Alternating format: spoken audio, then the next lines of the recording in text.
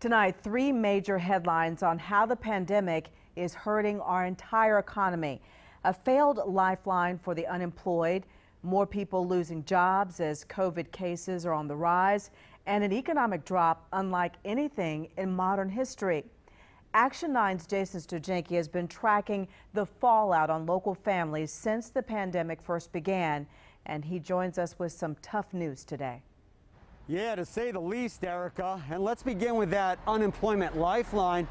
You know, I've been telling you about that extra $600 families were getting each week and how that ended last week. Late this afternoon, the Senate failed to pass a plan to extend a $200 added benefit. It got tied up in a political battle between the two parties over a new stimulus deal. But at the end of the day, it means no extra check for families right now. And there are more families that could have used that money.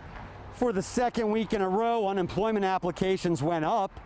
They'd been dropping since an all-time high back in March, but started ticking back up again as new COVID cases started rising.